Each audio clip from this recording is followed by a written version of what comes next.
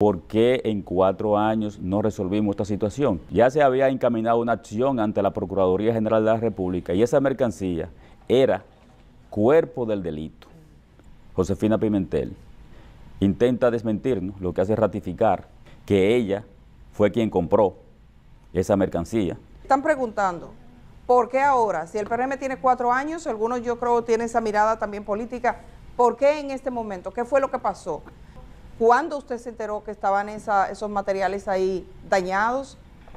Respecto a la situación de estos uniformes que se compraron en el 2012 y entraron al almacén en el 2013, bueno, reiterar que estos uniformes no fue que se dañaron en almacenes, esos uniformes entraron a los almacenes en condiciones no, no aptas para ser entregados a los niños.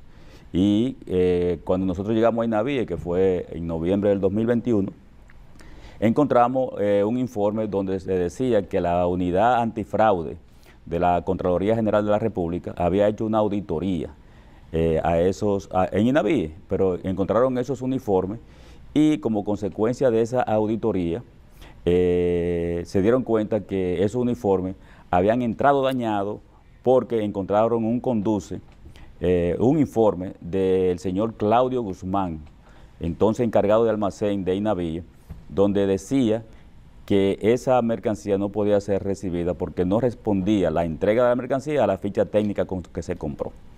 Sin embargo, después se le dio entrada provisional. Yo no sé lo que es una entrada provisional porque cuando una mercancía no responde a la ficha técnica, sencillamente no se recibe. Pero se recibió y eh, la pregunta que inquieta a la gente con mucha razón es, ¿por qué en cuatro años no resolvimos esta situación?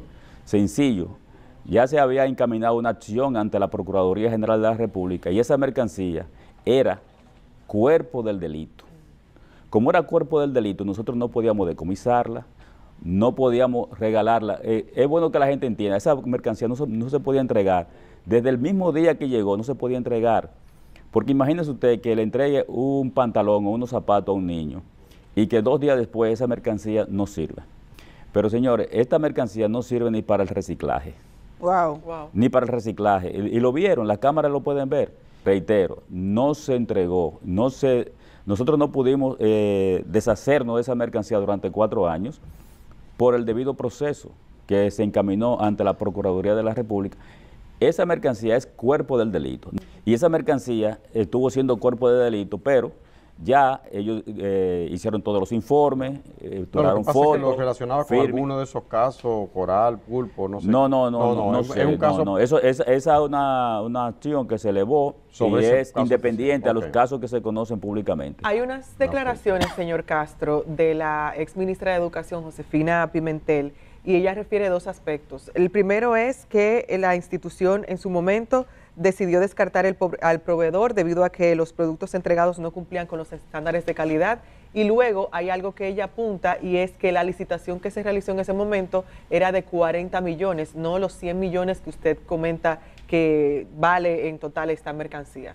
La distinguida dama, eh, Josefina Pimentel, intenta desmentirnos, lo que hace ratificar la denuncia que nosotros hemos hecho. Ella ratifica que ella fue quien compró esa mercancía. Ella dice que pagó solo el anticipo y ella dice que se resistió a darle entrada porque la mercancía estaba en malas condiciones. Es verdad, lo dice Claudio Guzmán, el encargado de almacén, pero luego recibió instrucciones de recibirla. Ella dice que se recibió la mercancía y que no se utilizó porque estaba dañada, pero señor, ¿En qué cabeza cabe que si una mercancía que usted compra le llega en malas condiciones, usted le va a dar entrada de manera provisional?